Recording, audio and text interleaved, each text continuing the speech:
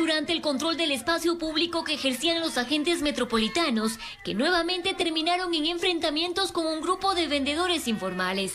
Ocurrió el pasado sábado entre las calles Cuenca y Chile en el centro histórico.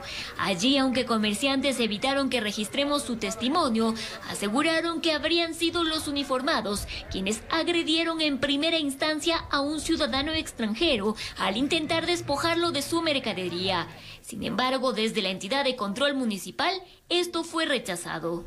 Un ciudadano que posteriormente fue identificado como extranjero sale en precipitada carrera y, e ingresa a un local comercial.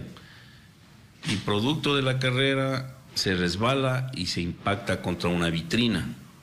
Rompe el vidrio y, eso le produce unas heridas.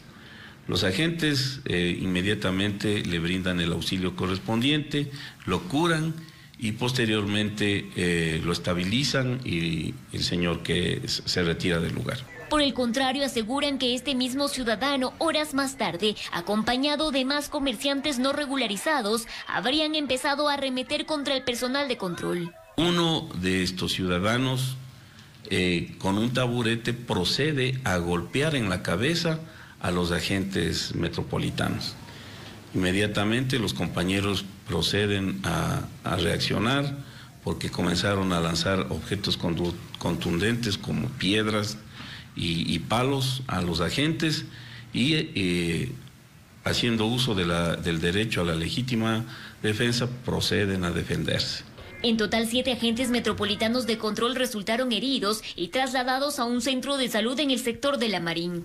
Cortadura en el pómulo, uno de ellos, otro tiene golpes en la cabeza, inclusive tiene un problema en la clavícula. Finalmente, la institución informó que ya se interpuso una demanda en la Fiscalía General. Agredir a los agentes que son encargados de ejercer la ley, eso tiene una pena de acuerdo al COIP de...